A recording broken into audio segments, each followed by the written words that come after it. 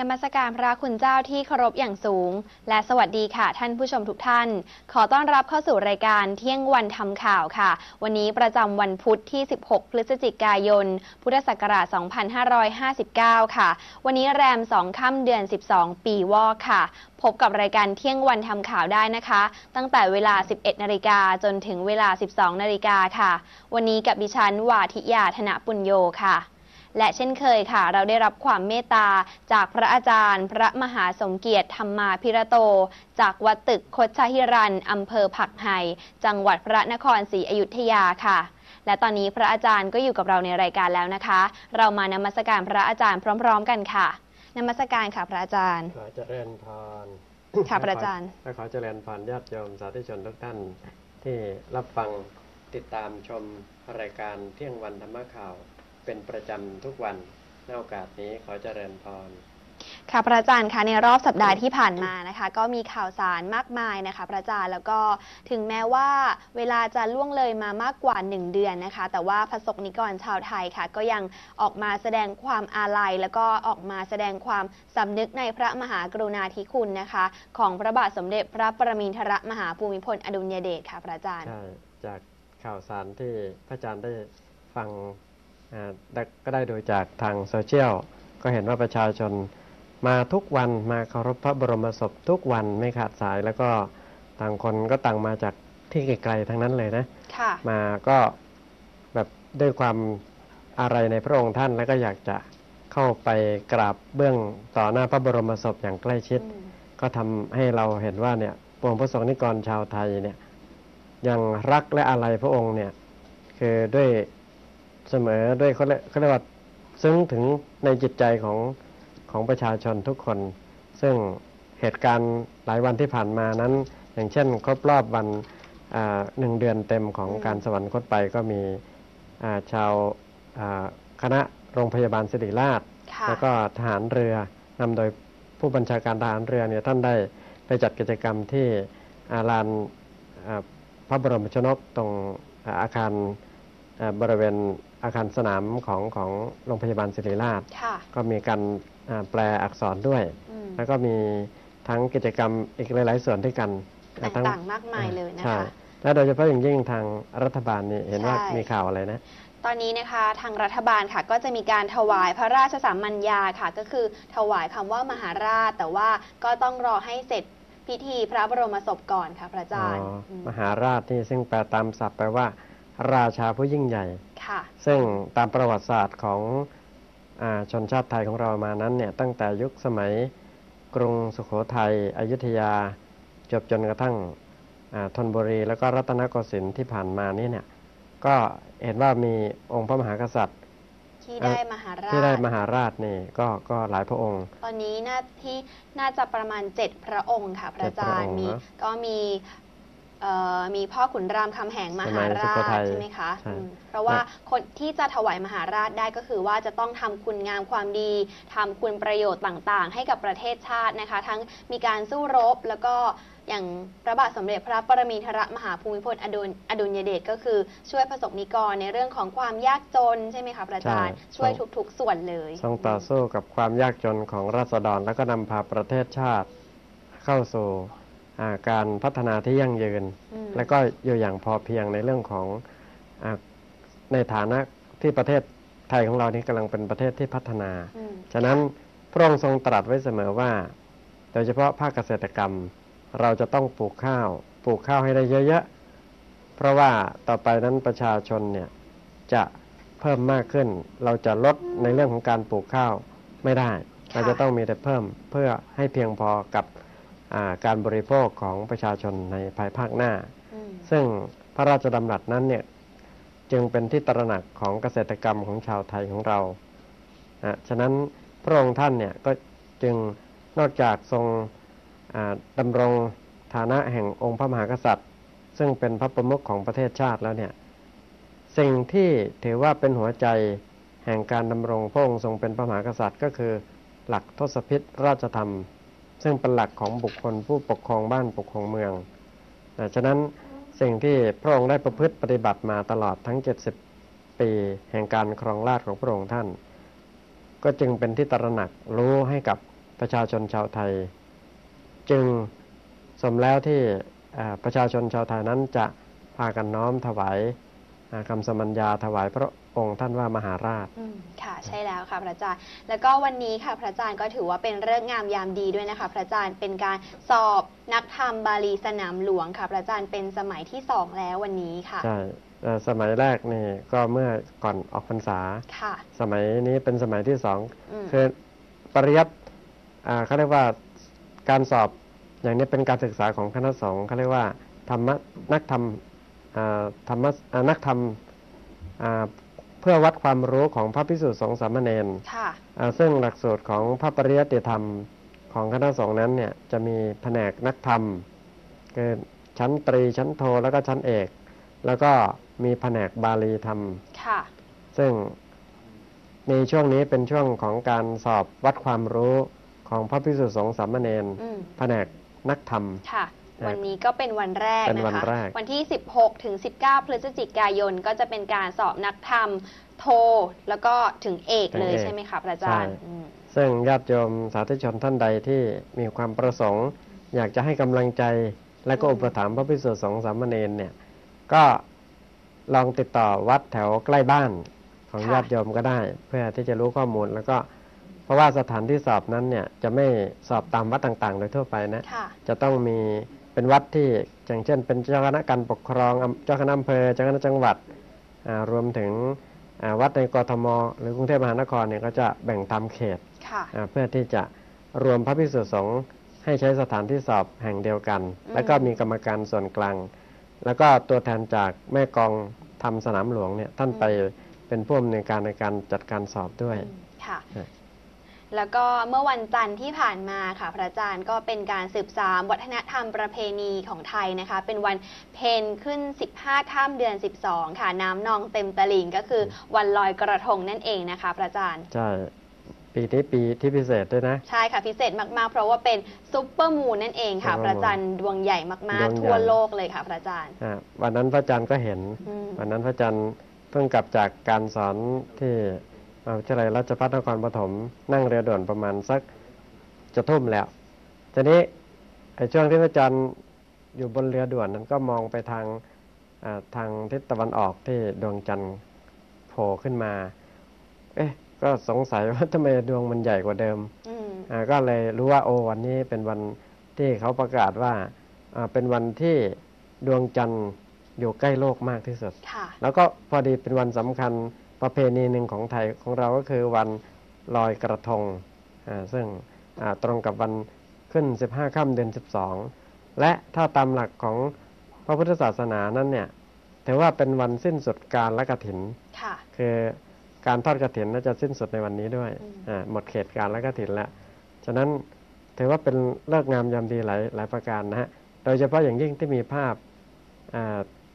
ซุปเปอร์มูนเนี่ยหรือดวงจันทร์ดวงใหญ่เนี่ยปรากฏเหนือพระบรมมหาราชวัง ใช่ค่ะ เป็นภาพที่สวยงามแล้วก็ที่ราชภักดิ์อืมที่จังหวัดประจวบคือคือช่างกล้องเขาก็เข้าใจถ่ายนะแล้วก็ดูเหมือนกับว่าอะไรก็ช่างลงตัวไปหมดอืมนะซึ่งเป็นภาพที่สวยงามแล้วก็ออกมามาดีแล้วก็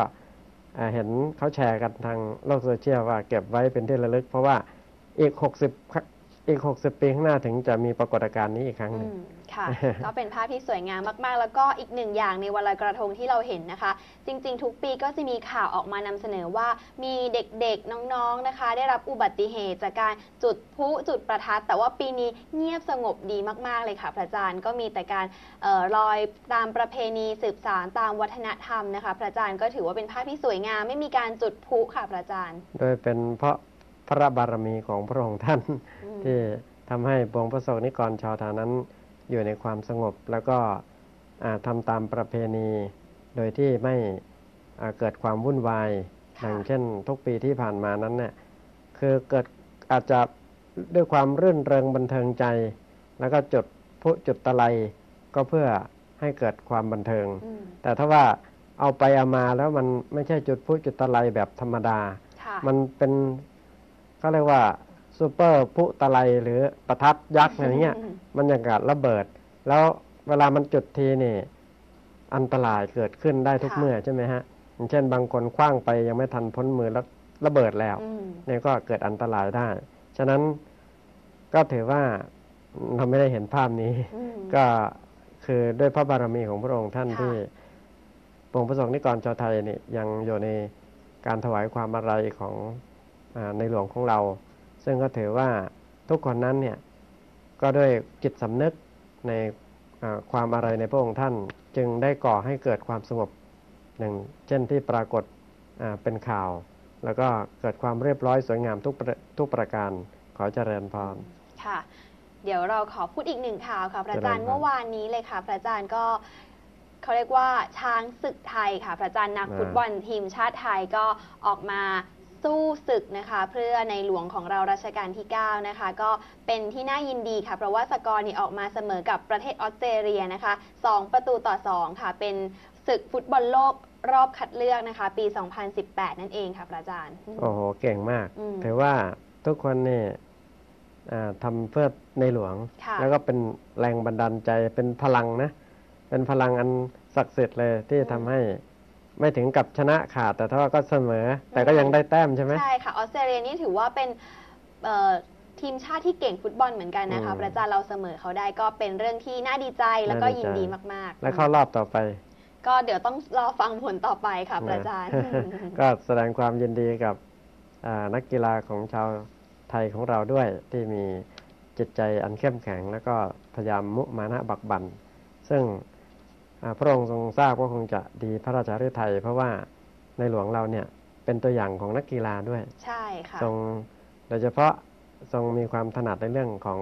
กีฬาหลายประเภท แต่ที่โดดเด่นเลยก็คือ กีฬาเรือใบเรือใบใช่ไหมอืมอ่าแล้วก็ที่ได้ทรงอ่าที่ทรงได้เหรียญทองค่ะในในคราวครั้งนั้นด้วยอืมก็ถือว่าเนี่ยแล้วก็ทรงชอบดูมวยนะค่ะพระอาจารย์เคยอ่านประวัติของคุณสมรักคำสิงห์ที่ได้เข้าเฝ้าอืมอ่าหรือใครอีก ที่ที่พระองค์ทรงเชียร์ ค่ะ เชียร์ฟุตเอ่อฟุตบอลทีมชาติไทยในสมัยที่แข่งซูซูกิคัพก็เชียร์อ่าค่ะพระอาจารย์เชียร์ ในหลวงนี่โทรระสับไปเองเลยแล้วว่าอ๋อว่าว่าเราเราดูอยู่นะอะไรเงี้ยค่ะพระอาจารย์มวยเอ่อพระองค์ท่านก็ดูดู พระองค์ท่านน่าจะดูกีฬาทุกประเภทเลยค่ะพระอาจารย์อ่าก็ถือว่าพระองค์เนี่ยเป็นอ่าเขาเรียกว่าเป็นกษัตริย์ที่ทรงสนพระราชาฤทัยทางทางด้านหลาย ๆ ศาสตร์ โดยเฉพาะด้านกีฬาอืมก็ทรงเป็นอ่า ผู้นำอ่าทางด้านจิตใจให้แก่ชาวกีฬาค่ะไม่ว่าจะเปิดการแข่งขันที่ไหนก็ตามทีเนี่ยนักกีฬาของชาวไทยจะมีเอกลักษณ์อย่างหนึ่งคือจะต้องมีพระบรมฉายาธิสลักษณ์พระองค์เนี่ยอ่าขึ้นไปบนเวทีด้วยค่ะนะนั่นคือสิ่งที่บ่งบอกว่า ศูนย์รวมจิตใจของชนชาติไทยอืมขอเจริญพร ท่านผู้ชมคะและนี่นะคะก็เป็นข่าวเกริ่นนำในช่วงนี้นั่นเองนะคะ เรามาเริ่มกันที่ข่าวแรกกันเลยนะคะ เป็นข่าวในพระพุทธศาสนาค่ะ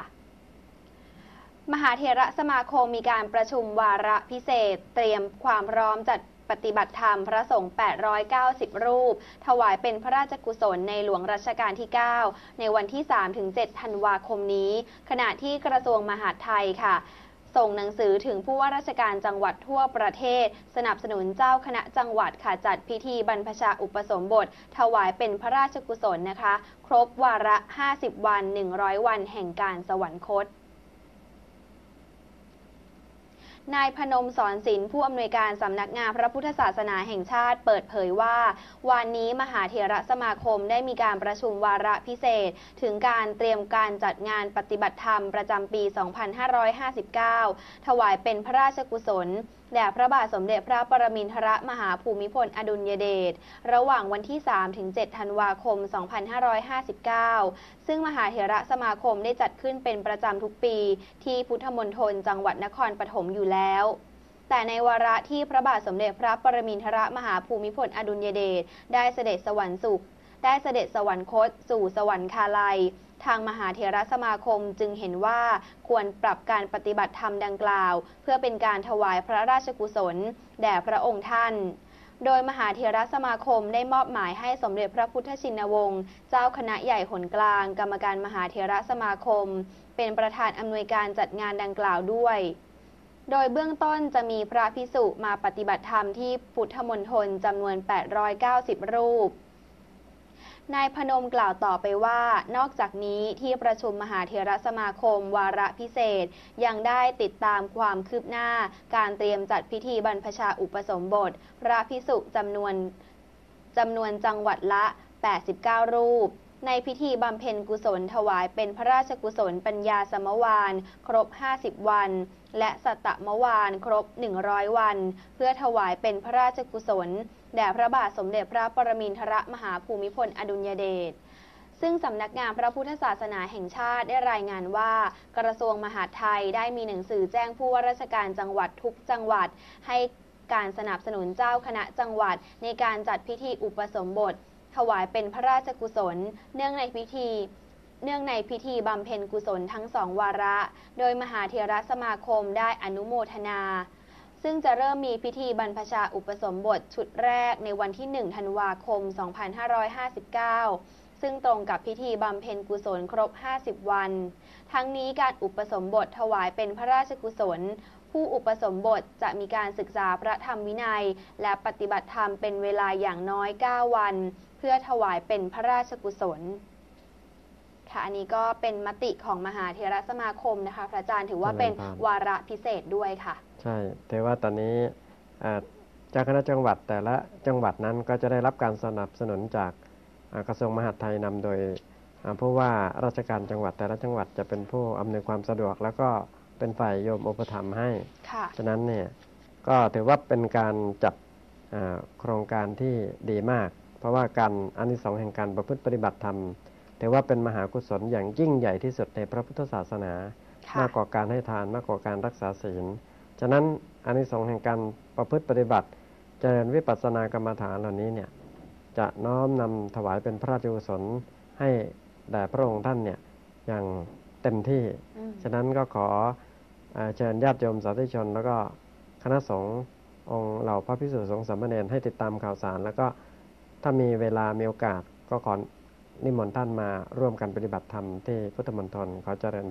พรครับ มาต่อกันที่ข่าวนี้นะคะ วัดป่าปานประสิทธารามค่ะ มีการจัดกิจกรรม ถวายอาลัยพระบาทสมเด็จพระปรมินทรมหาภูมิพลอดุลยเดชพร้อมกับกิจกรรมเทศกาลวันลอยกระทง ติดตามรายละเอียดได้จากคุณรัตติกรสะดวกกิจค่ะ วัดปานประสิทธารามร่วมกับภาครัฐ องค์กรปกครองส่วนท้องถิ่นข้าราชการสถานศึกษาจัดกิจกรรม ถวายอาลัย พระบาทสมเด็จพระปรมินทรมหาภูมิพลอดุลยเดชน้อมสำนึกในพระมหากรุณาธิคุณ โดยมีพระครูศรีสมุทรวาหะ เจ้าคณะอำเภอบางบ่อ เจ้าวาดวัดสุกันทาวาสจังหวัดสมุทรปราการเป็นประธานฝ่ายสงฆ์ นายทวัชชัยนามสมุทร นายอำเภอบางบ่อ จังหวัดสมุทรปราการเป็นประธานฝ่ายฆราวาส นำข้าราชการ ประชาชนและเยาวชนร่วมกิจกรรมโดยพร้อมเพรียง จัดขึ้นณวัดปานประสิทธารามตำบลคลองด่านอำเภอบางบ่อจังหวัดสมุทรปราการเนื่องในเทศกาลลอยกระทงทางคณะสงฆ์ของวัดปานประสิทธาราม โดยพระครูโสพลสุตาทานเกรียงศักดิ์ศรีลัทโรเจ้าวาดวัดปานประสิทธาราม ร่วมกับภาครัฐ เอกชน ประชาชน สถานศึกษาในพื้นที่ ประกอบด้วยโรงเรียนหลวงพ่อปานคลองด่านอนุสรณ์โรงเรียนตลาดบางพลีน้อย โรงเรียนวัดปานประสิทธาราม และโรงเรียนบางบ่อวิทยาคม จากกิจกรรมถวายอาลัยพระบาทสมเด็จพระปรมินทรมหาภูมิพลอดุลยเดช โดยมีพระครูศรีสมุทรวาหะ เจ้าคณะอำเภอบางบ่อเจ้าวาดวัดสุขันธาวาสจังหวัดสมุทรปราการเป็นประธานสงฆ์นายทวัชชัยนามสมุทรนายอำเภอบางบ่อจังหวัดสมุทรปราการ เป็นประธานฝ่ายฆราวาสพร้อมกันนี้พระครูปรีชาประภากร เจ้าวาดวัดหงทอง จังหวัดสมุทรปราการ พระเถระภิกษุสามเณรข้าราชการ ประชาชนและเยาวชนร่วมงานอย่างเนืองแน่น ทั้งนี้กิจกรรมประกอบด้วยการเจริญสติ 99 วินาทีถวายเป็นพระราชกุศล การร่วมจุดเทียนชัยถวายอาลัย น้อมสำนึกในพระมหากรุณาธิคุณ พระบาทสมเด็จพระปรมินทรมหาภูมิพลอดุลยเดช การร่วมร้องเพลงสรรเสริญพระบารมี สดุดีพระเกียรติคุณที่ทรงมีต่อประสบกนิกรชาวไทยกิจกรรมลอยประทีปในสัญลักษณ์เลข 9 ไทย อันเป็นเลขประจำราชการของพระองค์ และการเจริญสติเวียนรอบประทักษิณถวายพระราชกุศลพระบาทสมเด็จพระปรมินทรมหาภูมิพลอดุลยเดชทางวัดปานประสิทธารามร่วมกับประชาชน ได้ร่วมกันแสดงออกถึงความรัก ความศรัทธา ความเทิดทูนที่มีต่อพระบาทสมเด็จพระเจ้าอยู่หัว ด้วยการมาร่วมพิธีกับทางวัดปานประสิทธาราม นั่นคือจุดเทียนถวายความอาลัยพร้อมทั้งเจริญจิตตภาวนา และร้องเพลงสรรเสริญพระบารมีในในวันนี้อาตมาภาพในนามของคณะสงฆ์ผู้ผลักดันผู้จัดงานครั้งนี้มีความปลื้มปิติใจในความร่วมมือร่วมกัน ร่วมแรงร่วมใจกันของประชาชนทุกฝ่ายทุกหมู่เหล่าจึงทำให้มีภาพงานในวันนี้ได้ พวกเรา นะเป็นชาวไทยคนหนึ่งนะก็ต้องน้อมรึกถึงบุญคุณของพระองค์ท่านนะที่มีต่อทุกท่านชาวไทย ที่พระองค์ท่านทรงปฏิบัติภารกิจมา 70กว่าปีนะครับนะฮะในฐานะคนไทยคนหนึ่งนะก็ยังระลึกถึงพระองค์ท่านเสมอนะพระองค์ท่านแม้จะจากไป แต่ว่าพระองค์ท่านยังอยู่กับพวกเราตลอดไปนะเราจะทำความดีเพื่อพ่อของเราตลอดไปครับขอบคุณครับ มาต่อกันที่ข่าวนี้กันบ้างนะคะ เป็นข่าวของการทอดผ้าป่าค่ะที่วัดยานาวาของเรานี่เองนะคะ มูลนิธิพระพุทธโลกนาสุขโขทัยค่ะ ร่วมกับกระทรวงการท่องเที่ยวและกีฬาจัดพิธีทอดผ้าป่าสามัคคีค่ะ สมทบทุนทอดถวาย วัดอย่างน้อยอำเภอเขื่องใน เพื่อการก่อสร้างโรงเรียนพระเปรียติธรรมพรหมวชิรยาน แผนกสามัญศึกษา เฉลิมพระเกียรติ 84 พรรษา พระบาทสมเด็จพระเจ้าอยู่หัว โดยมีพระพรหมวชิรยานกรรมการมหาเถรสมาคม เจ้าวาดวัดยานนาวา เป็นประธานสงฆ์นายทวีศักดิ์วานิจเจริญ ผู้อำนวยการสำนักบริหารกลาง กระทรวงการท่องเที่ยวและกีฬาเป็นประธานฝ่ายคารวาสนำเจ้าหน้าที่ผู้มีจิตศรัทธา ร่วมในพิธีทอดผ้าป่าสามัคคี สมทบทุนทอดถวาย วัดอย่างน้อย ณอาคารมหาเจษฎาบดินทร์วัดยานาวา เขตสาทรกรุงเทพมหานคร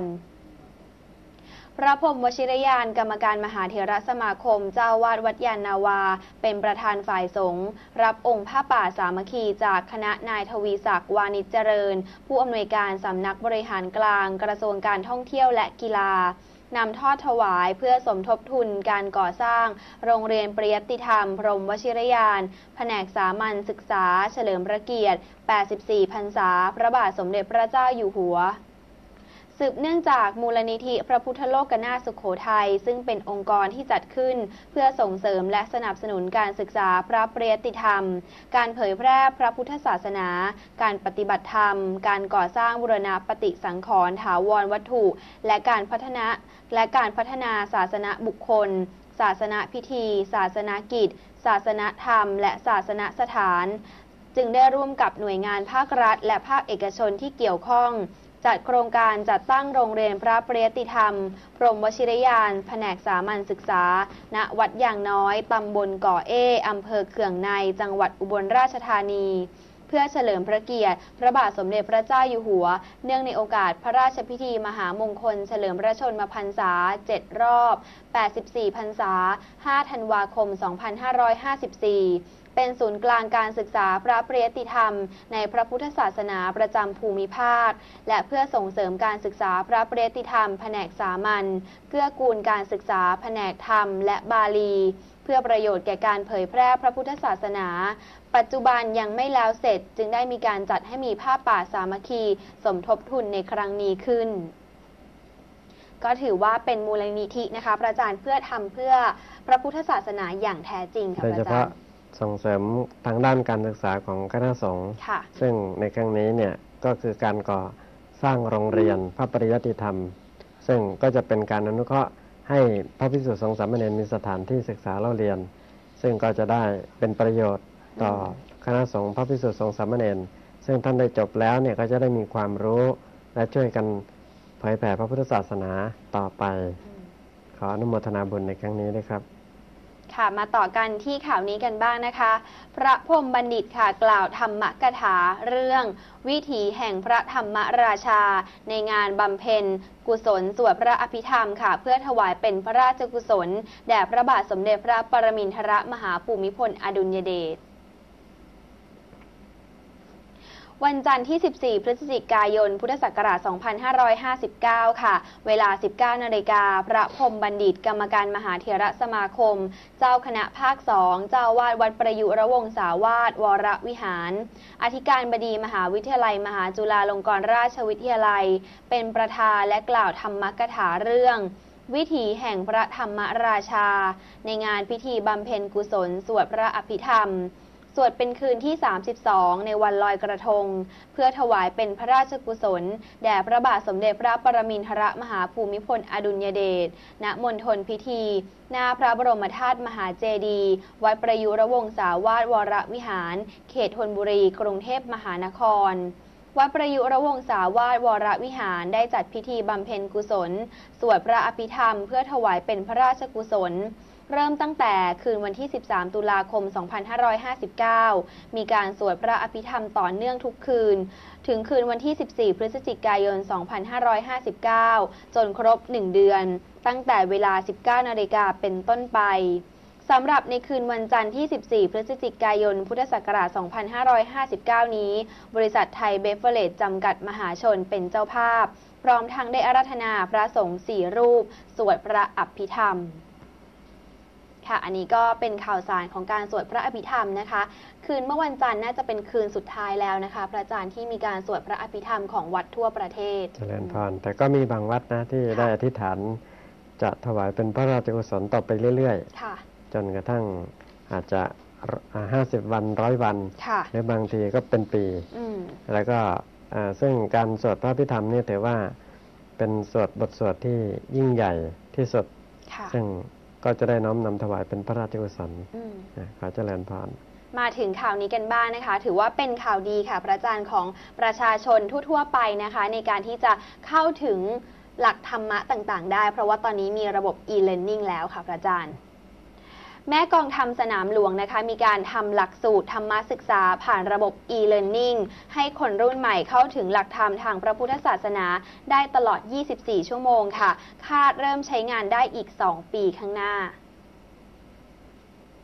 พระพรมมุนีแม่กองธรรมสนามหลวงกรรมการมหาเถรสมาคม กล่าวถึงการสอบธรรมศึกษาประจำปี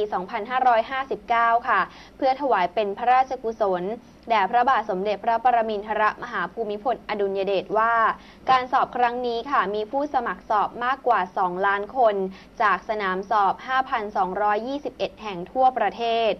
โดยสำนักงานแม่กลองธรรมสนามหลวง และสำนักงานพระพุทธศาสนาแห่งชาติ จะมีพิธีเปิดสอบนะคะ พร้อมกันทั่วประเทศ ในวันที่ 21 พฤศจิกายนนี้ ที่โรงเรียนบุญถาวรอำเภอเมืองจังหวัดนครราชสีมา สำหรับการสอบธรรมศึกษาเป็นการที่ให้คณะสงฆ์ได้น้อมนำแนวทางในการสร้างคนดีของสังคม ตามแนวพระราชดำรัสที่ว่า เราไม่สามารถทำให้ทุกคนเป็นคนดีได้ แต่จะทำอย่างไรให้คนดีมีมากในสังคม เมื่อมีคนดีมากแล้ว คนที่ไม่ดีไม่มีที่ยืนในสังคม มาส่งเสริมให้เด็กรุ่นใหม่ ได้น้อมนำความดีมาสู่การปฏิบัติ โดยเชื่อว่า หากคนได้ลงมือปฏิบัติในการทำความดีแล้ว สังคมก็จะดีตามไปด้วยพระพรหมมุนีกล่าวต่อว่า นอกจากนี้สำนักงานแม่กลองทำสนามหลวง ได้คำนึงถึงโลกยุคโซเชียลมีเดีย ที่เด็กและเยาวชนเข้าถึงได้ง่าย โดยเตรียมทำหลักสูตรธรรมศึกษาระบบ e-learning ซึ่งโรงเรียนทั่วประเทศสามารถเข้าถึงได้ โดยจะใช้งบประมาณดำเนินการประมาณ 20 ล้านบาท คาดว่าจะเปิดใช้งานได้ภายใน 2 ปีข้างหน้า ทั้งนี้การทำระบบ e-learning จะเป็นการส่งเสริมให้คนรุ่นใหม่ ที่อยากจะศึกษาหลักธรรมทางพระพุทธศาสนา โดยเฉพาะหลักสูตรธรรมศึกษา สามารถเรียนรู้ด้วยตนเองได้ตลอดเวลาค่ะ ก็ถือว่าเป็นนิมิตหมายที่ดีนะคะ พระอาจารย์ที่บุคคลทั่วไปนะคะ โดยเฉพาะวัยรุ่นนะคะได้เข้าสู่ได้เข้าได้เข้าเรียนรู้ในระบบ ในโลกอินเทอร์เน็ตมากขึ้นนะคะ แล้วก็ได้เรียนรู้ตลอดเวลาด้วยค่ะใช่พระอาจารย์24 ชั่วโมงค่ะซึ่งระบบอินเทอร์เน็ตเนี่ยคือไม่มีเขาเรียกว่าสามารถใช้งานได้ตลอดเลยค่ะคือไม่มีวันเหนื่อย นอกจาก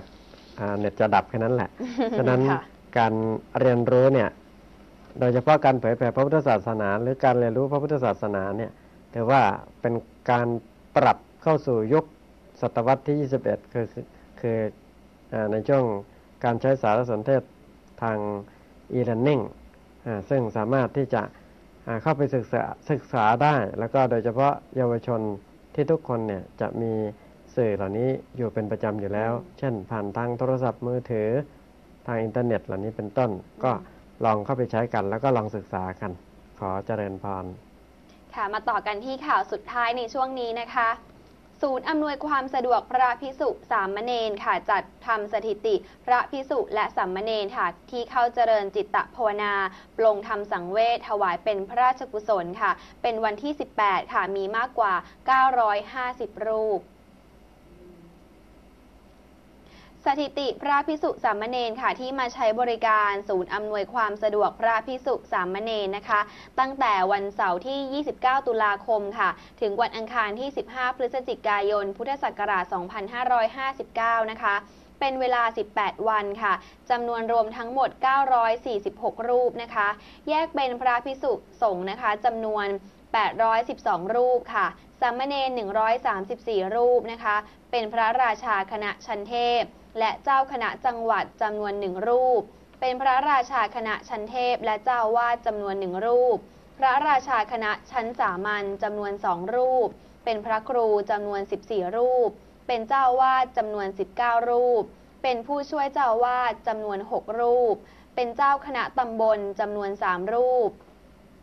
เป็นเจ้าวาดและเจ้าคณะตำบลจำนวนหนึ่งรูป เป็นเจ้าสำนักสงฆ์จำนวนสองรูป เป็นพระพิสุสามเณรทั่วไปจำนวน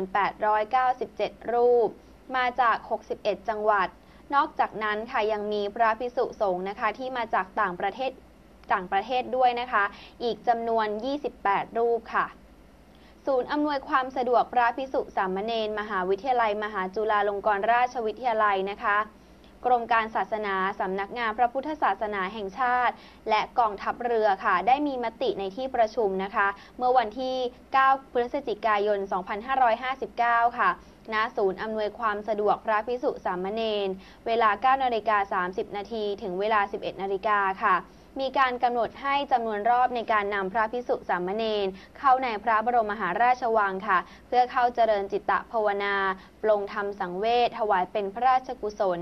โดยจัดเป็น2รอบต่อวันค่ะ รอบละ 40 รูปนะคะ ดังนี้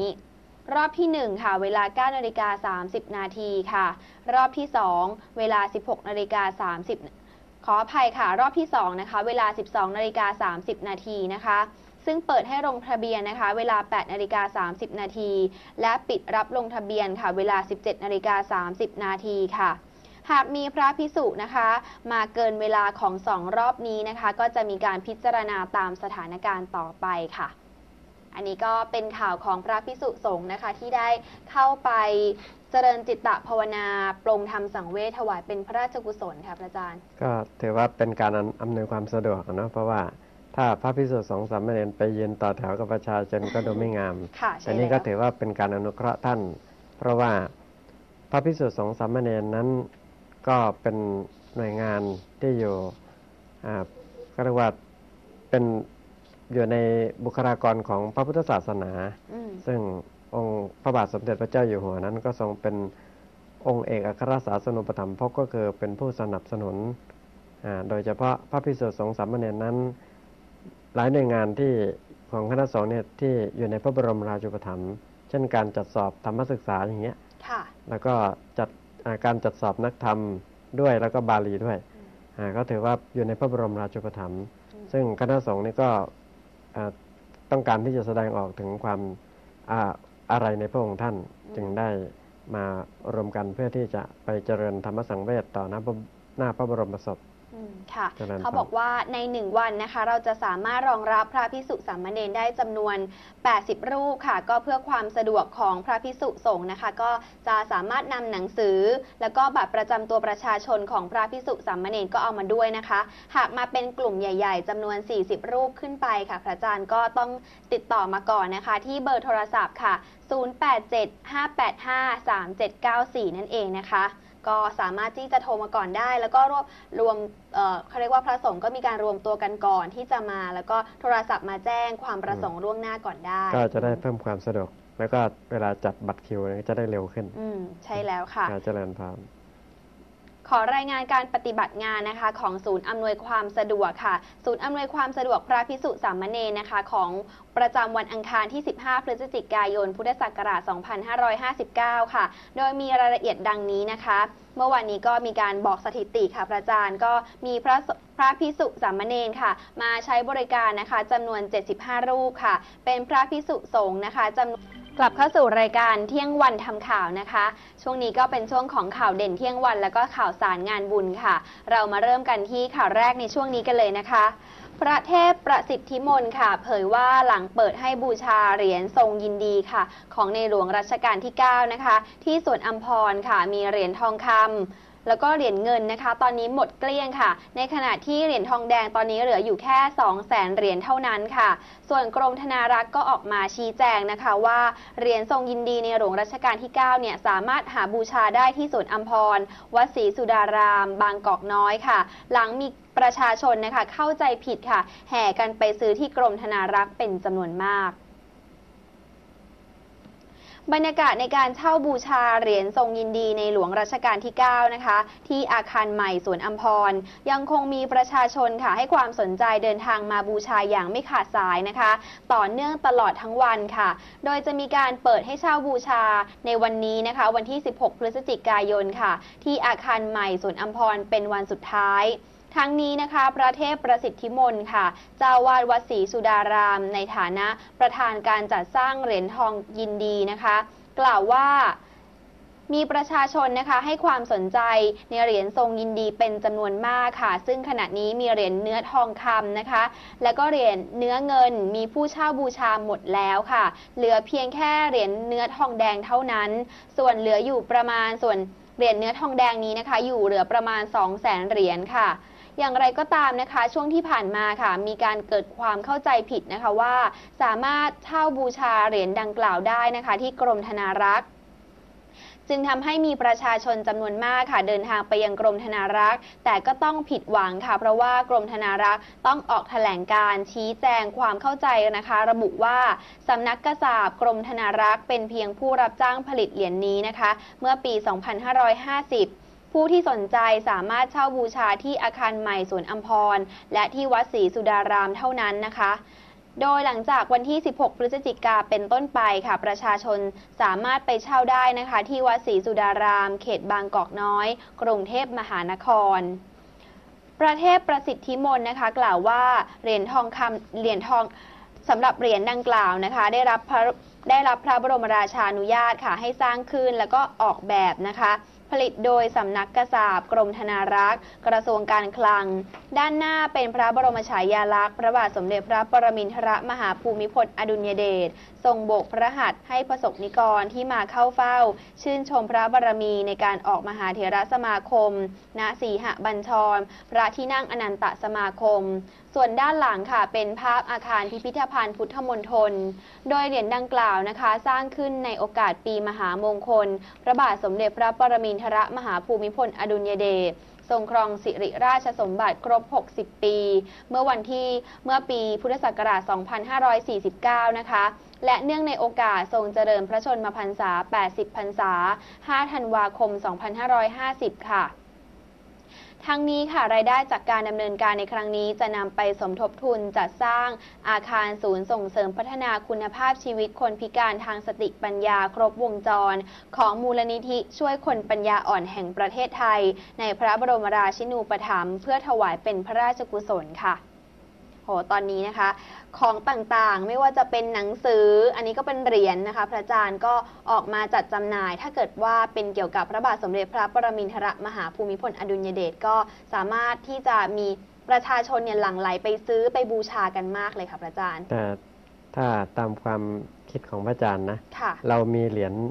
ในหลวงเนี่ยกันทุกคนนะอืมเหรียญบาท เหรียญบาท เหรียญห้าบาทเหรียญสิบบาท เราก็เก็บไว้อืมก็ก็ หรือบางบางทีท่านแนะนำนะก็คือเอาเหรียญสิบบาทเนี่ยพระอาจารย์ยังยังมีในความคิดเลยจะเอาข้าวเปลือกเนี่ยเอามาถักแล้วก็มาล้อมกรอบเหรียญสิบบาทเหรียญห้าบาทแจกจ่ายกัน แต่ถ้าใครสนใจนี่ก็ก็ลองเอาเหรียญเหล่านี้เนี่ยเอาไปใส่กรอบแล้วบูชาก็ได้ ค่ะ อ่าเพราะว่าอ่าจะได้ไม่ลำบากในเรื่องของการหหาเหรียญที่ระลึกอะไรต่างๆ เพราะว่าเหรียญบาทเนี่ยเรามีกันทุกคนอยู่แล้วอืมก็แนะนำนะฮะอืมค่ะพระอาจารย์เอ่อที่วัดยานาวาค่ะ พระอาจารย์อืมก็หนูก็ได้มีโอกาสจัดใครว่าจัดจำหน่ายหนังสือค่ะ พระอาจารย์ที่เกี่ยวกับพระราชกรณียกิจ แล้วก็เป็นพระราชประวัติค่ะ ตั้งแต่ตอนพระราชสมภพจนถึงปัจจุบันนะคะ พระอาจารย์โอ้ตอนนี้มี พุทธศาสนิกชนที่มาทำบุญนะคะ ก็ซื้อกันหมดทุกคนเลยนะคะอืมพระอาจารย์แล้วก็หนังสือขายหัวเราะที่เขาทำมาในโอกาสพิเศษ อันนั้นก็ขายดีมากๆเลยค่ะขายดีอะไรที่เกี่ยวกับเกลี้ยงในในหหลลววงงรัชกาลที่ 9 นี้ขายดีมากแม้แต่ค่ะหนังสือพิมพ์นี่อืมเอ่อแต่ละฉบับเกลี้ยงแผงเลยนะใช่แล้วก็เพื่อเก็บไว้เป็นที่ระลึกอืมในคราวในในครั้งนี้ ซึ่งถือว่าเป็นประวัติศาสตร์ของชนชาติไทยของเรา แม้แต่พระอาจารย์ก็ยังเก็บอืมอ่าหนังสือพิมพ์ฉบับวันนั้นไว้เลยโอ้ค่ะ แม้กระทั่งปฏิทินที่เดือนตุลาคมปีเนี้ยพระอาจารย์ก็ไม่ฉีกนะอืมเพราะว่าแต่ว่าเก็บไว้อ่าอืมเป็นประวัติศาสตร์ค่ะนะฮะพระอาจารย์ก็เก็บไว้ทั้งพระบรมฉายาธิสลักษณ์ของพระองค์ท่านด้วยอืมค่ะขอเจริญพร มาต่อกันที่ข่าวนี้กันเลยนะคะ ปลัดกระทรวงสาธารณสุขค่ะ เป็นประธานเปิดแพรคลุมป้าย อาคารสงฆ์100 ปี สมเด็จพระญาณสังวร สมเด็จพระสังฆราชสกลมหาสังฆปริตนายกนะคะ โรงพยาบาลห้วยกระเจ้าเฉลิมพระเกียรติ 80 พรรษา จังหวัดกาญจนบุรี พร้อมมอบนโยบายให้โรงพยาบาลนะคะน้อมนำหลักปรัชญาเศรษฐกิจพอเพียงเป็นต้นแบบในการบริหารงาน นายแพทย์โสพลเมฆทนค่ะปลัดกระทรวงสาธารณาสุขนะคะ เป็นประธานเปิดแพร่คุมป้ายค่ะ อาคาร 100 ปี สมเด็จพระญาณสังวร สมเด็จพระสังฆราชสกลมหาสังฆปริตนายก โรงพยาบาลห้วยกระเจ้าเฉลิมพระเกียรติ 80 พรรษา จังหวัดกาญจนบุรีพร้อมมอบประกาศเกียรติคุณแก่ผู้บริจาคทรัพย์สมทบทุนในการก่อสร้าง และปลูกต้นไม้ 3 อย่างที่ให้ประโยชน์ 4 อย่าง ตามแนวปรัชญาเศรษฐกิจพอเพียง นายแพทย์โสพล เมฆทนปลัดกระทรวงสาธารณาสุขกล่าวว่า กระทรวงสาธารณาสุขมีนโยบายยกระดับคุณภาพชีวิตประชาชนทั่วอย่างทั่วถึงและเป็นธรรมโดยเฉพาะโรงพยาบาลชุมชนเฉลิมพระเกียรติ 80 พรรษา พระบาทสมเด็จพระปรมินทรมหาภูมิพล อดุลยเดชทั้ง 10 แห่งค่ะ ที่ตั้งอยู่ในพื้นที่ชนบทห่างไกล ได้เร่งรัดพัฒนาให้เป็นโรงพยาบาลคุณธรรม ยึดมั่น และน้อมนำพระบรมราโชวาท ของพระบาทสมเด็จพระปรมินทรมหาภูมิพลอดุลยเดชบริหารโรงพยาบาลหนึ่งค่ะ เป็นโรงพยาบาลของชุมชนอย่างแท้จริง ชุมชนเข้ามามีส่วนเป็นเจ้าของบริหารจัดการ ดูแลรับผิดชอบและและสนับสนุนกิจกรรมต่างๆ ของโรงพยาบาลยึดยึดหลักธรรมมาภิบาล โปร่งใส ตรวจสอบได้ ความคล่องตัวและมีประสิทธิภาพ 2. โรงพยาบาลเป็นส่วนหนึ่งของชุมชน ประสานทำงานกับองค์กรอื่นในชุมชน ร่วมกันพัฒนาสุขภาพแบบองค์รวม ตามแนวปรัชญาเศรษฐกิจพอเพียง 3. ระบบบริหารเน้นงานเวชภัณฑ์งานเน้นงานเวชศาสตร์ครอบครัว การส่งเสริมสุขภาพป้องกันการควบคุมโรค การรักษาฟื้นฟูแบบองค์รวม 4. ส่งเสริมกิจกรรมจิตอาสาที่หลากหลายรูปแบบ ทั้งในและนอกโรงพยาบาล และ 5. มีการบริหารจัดการที่ดี สิ่งแวดล้อมดี อาคารสถานที่สะอาดสวยงามสำหรับโรงพยาบาลห้วยกระเจ้าเฉลิมพระเกียรติ 80 พรรษา จังหวัดกาญจนบุรี เป็นโรงพยาบาลชุมชนขนาด 30 เตียง เปิดให้บริการประชาชนเมื่อปี 2549 ดูแลประชาชนประมาณ 34,000 คน มีผู้ป่วยนอกเฉลี่ย 180 คนต่อวัน ผู้ป่วยในเฉลี่ย 20 คนต่อวัน ในจำนวนนี้มีพระพิสุสงฆ์รวมอยู่ด้วย ด้วยข้อจำกัดที่โรงพยาบาลมีห้องพิเศษเพียง 5 ห้อง พระพิสุสงฆ์ต้องนอนอยู่รวมกันกับผู้ป่วยอื่น ๆ จึงเป็นการไม่เหมาะสม และไม่สะดวกต่อพระพิสุสงฆ์ที่มาดูแลคณะกรรมการบริหารโรงพยาบาลและคณะสงฆ์จึงได้มีการจัดหางบประมาณสำหรับก่อสร้างอาคารสำหรับพิสุสงฆ์อาพาธ เป็นอาคารสองชั้น มีห้องพิเศษเดี่ยว 9 ห้อง ห้องกายภาพบำบัด 1 ห้อง ประชุม มีห้องประชุม ห้องพระ อุปกรณ์คุรุพันธ์การแพทย์ และสิ่งอำนวยความสะดวกในการบริหารงานได้ ใช้งบประมาณในการก่อสร้างประมาณ 5 ล้านบาท การบริจาค ทอดพระป่าสามัคคี กิจกรรมการกุศล เงินสนับสนุนจากสำนักสลากกินแบ่งรัฐบาล และจากประชาชนในพื้นที่ โดยให้ความเมตตาจากการเป็นเจ้าประคุณ สมเด็จพระวรรณรัตน์ เจ้าวาดวัดบวรนิเวศวิหาร ประธานนามอาคารว่าอาคาร 100 ปี สมเด็จพระยาณสังวร สมเด็จพระสังฆราช สกลมหาสังฆปริตนายก ค่ะอันนี้ก็เป็นโรงพยาบาลสำหรับพระพิสุสงฆ์นะคะ พระอาจารย์ ใช่เพราะว่าพระพิสุสงฆ์นี่เวลาท่านอาพาธแล้วเวลาไปอยู่ที่โรงพยาบาลเนี่ยบางทีมันไม่มีตึกสำหรับท่านโดยเฉพาะเนี่ยก็จำเป็นที่จะต้องอยู่รวมกับอ่าทั้งญาติโยม ทั้งผู้หญิงและผู้ชาย บางทีพระสงฆ์นี่มันก็วางตัวลำบากอ่าแต่เอ่อญาติโยมก็มาพัก แล้วมันมีทั้งผู้หญิงผู้ชายด้วยมันก็ไม่เหมาะะนั้นสมควรแล้วล่ะที่ได้แบ่งสัดส่วนให้พระสงฆ์อืมให้พระสงฆ์สามเณรท่าน อืมแล้วก็ต้องขออนุโมทนาบุญกับคนที่บริจาคใช่นะคะขออนุโมทนา ช่วยโรงพยาบาลในครั้งนี้ด้วยอ่าเป็นการอนุเคราะห์ท่านได้บุญมากอืมค่ะ มาต่อกันที่ข่าวนี้นะคะสำนักงานเกษตรอำเภอเนินสง่าค่ะมีการร่วมกับศูนย์การเรียนรู้เพิ่มประสิทธิภาพ ในการผลิตสินค้าเกษตรกรรมค่ะอำเภอนะคะ จัดพิธีน้อมรำลึกในพระมหากรุณาธิคุณค่ะ พร้อมลงนามถวายความอาลัยนะคะ เสร็จแล้วก็มีการลงนาแขกเกี่ยวข้าวค่ะ ถวายเป็นพระราชกุศลค่ะ แด่พ่อหลวงเสด็จสวรรคตครบ 50 ครบ 30 วันค่ะ ที่บ้านโศกรอกพัฒนานะคะตำบลหนองฉิมอำเภอเนินสง่า จังหวัดชัยภูมิค่ะสำนักงานเกษตรอำเภอเนินสง่า ร่วมกับศูนย์เรียนรู้การเพิ่มประสิทธิภาพในการผลิตสินค้า เกษตรอำเภอ จัดพิธีแสดงความอาลัย และน้อมรำลึกถึงพระมหากรุณาธิคุณ และน้อมถวายความอาลัย พระบาทสมเด็จพระปรมินทรมหาภูมิพลอดุลยเดชค่ะ โดยมีนายสุวิทย์น้อมสัตว์ในอำเภอเนินสง่าเป็นประธานจุดเครื่องบูชาทองน้อย ถวายสักการะ และกราบถวายบังคม พระบรมฉายาลักษณ์ พร้อมลงนามถวายความอาลัย และอ่านพระราชดำรัส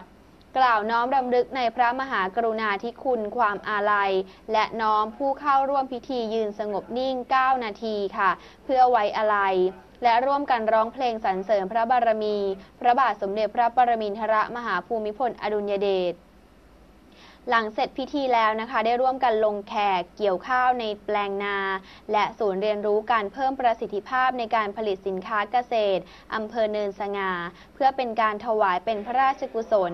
พระบาทสมเด็จพระปรมินทรมหาภูมิพลอดุลยเดชสวรรคตครบ 30 วัน ในวันที่ 13 พฤศจิกายน 2559 ทั้งนี้มีหน่วยงานทั้งภาครัฐ ภาคเอกชน ทหาร ตำรวจ นักเรียน และประชาชนในพื้นที่เข้าร่วมพิธีกว่า 300 คนค่ะต้องขอขอบคุณคุณวิรัตดวงแก้วผู้สื่อข่าวที่จังหวัดชัยภูมิด้วยค่ะ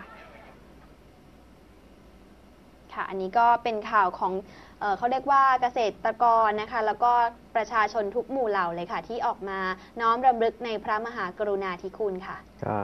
ส่งเสริมกันแล้วก็มีความสมัครสมานสามัคคีกันสมตามพระราชดำรัสของพระองค์ที่ทรงสั่งสอนให้รู้รักสามัคคีอืมขอเจริญพร มาต่อกันที่ข่าวสุดท้ายนะคะ ไปกันที่จังหวัดอุทัยธานีบ้างนะคะ ที่จังหวัดอุทัยธานีค่ะ มีช่างภาพจิตอาสานะคะ ระดมทุนพิมพ์โปสเตอร์ พระบรมฉายาลักษณ์ในหลวงรัชกาลที่ 9 ค่ะ แจกให้ประชาชนฟรีค่ะ 4,999 ใบ ที่บริเวณหน้าอาคารตลาดสดเทศบาลหนึ่งอำเภอเมืองจังหวัดอุทัยธานีค่ะ ผู้สื่อข่าวรายงานว่ามีกลุ่มจิตอาสานำโปสเตอร์พระบรมฉายาลักษณ์พระบาทสมเด็จพระปรมินทรมหาภูมิพลอดุลยเดชนะคะ มาแจกให้กับประชาชนฟรีค่ะจำนวน 4,999 ใบนะคะ ซึ่งมีประชาชนที่ที่เสร็จจากการเดินตลาดนะคะ มาจับจ่ายซื้อของ อทราบข่าวว่ามีการแจกฟรีนะคะ ก็มายืนต่อแถว รอรับโปสเตอร์พระบรมฉายาลักษณ์ เพื่อเก็บไว้เป็นที่ระลึกกันเป็นจำนวนมากค่ะ จากการสอบถามนายวรชัยจำนงอายุ 31 ปีค่ะ ประกอบอาชีพช่างภาพอิสระนะคะ เล่าว่า ตนได้ร่วมกับกลุ่มจิตอาสา ตั้งใจว่าอยากให้ประชาชนชาวอุทัยธานีค่ะ ได้มีพระบรมฉายาลักษณ์ในหลวงรัชกาลที่ 9 กันทุกบ้าน ให้มากที่สุดเท่าที่จะทำได้ค่ะ เพื่อถวายเป็นพระราชกุศลแด่พระบาทสมเด็จพระปรมินทรมหาภูมิพลอดุลยเดช และหวังว่าจะเป็นส่วนหนึ่งในการสำนึกในพระมหากรุณาธิคุณนะคะ ที่ทรงมีต่อปวงชนชาวไทยอย่างหาที่สุดมิได้ จึงได้ทำการรวบรวมทุนนะคะ จากคนอุทัยธานีที่เห็นด้วยกับกิจกรรมในครั้งนี้ค่ะ ซึ่งมีคนให้การสนับสนุนเป็นจำนวนมากค่ะ จนได้ออกแบบแล้วก็สั่งพิมพ์โปสเตอร์ขนาดใหญ่15 คูณ 21 นิ้วนะคะ รวมจำนวน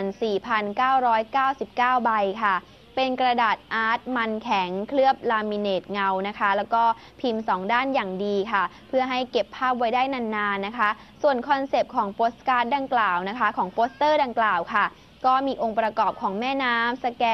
สะแกกรัง มีชาวเรือ แล้วก็ชาวแพที่อาศัยอยู่ในแม่น้ำสแกรังนะคะ ซึ่งสะท้อนถึงวิถีชีวิตของชาวอุทัยธานีออกมาให้เห็น พร้อมกับมีพระบรมฉายาลักษณ์ ของพระบาทสมเด็จพระปรมินทรมหาภูมิพลอดุลยเดชนะคะ อยู่ด้านบนค่ะเปรียบเสมือนพระองค์ท่านเฝ้ามองชาวอุทัยธานีอยู่ตลอดเวลา ส่วนด้านหลังค่ะก็มีการพิมพ์เป็นรูปเลข 9 ไทยนะคะ สวยงามค่ะเปรียบดังรัชกาลที่ 9 นั่นเองโอ้โหก็เป็นต้องขออนุโมทนาบุญอีกหนึ่งข่าวนะคะ ที่มีการรวมตัวของ เอ่อเขาเรียกว่าช่างภาพอิสระนะคะ เป็นกลุ่มจิตอาสา แล้วก็มาแจกจ่ายโปสเตอร์แบบนี้ค่ะพระอาจารย์ ภาพก็สวยงามด้วยก็ขค่ะออนุโมทนาบุญกับทุกท่านนะ อืม แต่ว่าในการทำความดีครั้งเนี้ยก่อให้เกิดความสุข อืมดังพุทธศาสนสุภาษิตที่พระพุทธเจ้าทรงตรัสว่า สุขาสังคัสสะสามัคคี ความสามัคคีแห่งหมู่คณะย่อมนำความสุขมาให้ขอเจริญพรท่านผู้ชมคะและทั้งหมดนี้นะคะ ก็เป็นข่าวจากรายการเที่ยงวันทำข่าวค่ะ ประจำวันพุธที่ 16 พฤศจิกายน พุทธศักราช 2559 วันนี้ค่ะ วันนี้ทางรายการเที่ยงวันทำข่าวต้องขอขอบพระคุณ พระอาจารย์ พระมหาสมเกียรติธรรมาพิระโต จากวัดตึกคชหิรันอำเภอผักไห่จังหวัดพระนครศรีอยุธยา ที่ได้มาร่วมให้ข้อคิดคติธรรมในหัวข้อข่าววันนี้ค่ะ ขอขอบพระคุณพระอาจารย์เป็นอย่างสูงค่ะริญพร และในวันนี้นะคะ รายการเที่ยงวันทำข่าวของเราค่ะ ก็หมดเวลาลงแล้วนะคะ ท่านผู้ชมสามารถกลับมาพบกับรายการเที่ยงวันทำข่าวได้ใหม่ ในวันและเวลาเดียวกันนี้ค่ะสำหรับวันนี้ดิฉันและทีมงานทุกคนต้องขอลาไปก่อน สวัสดีค่ะ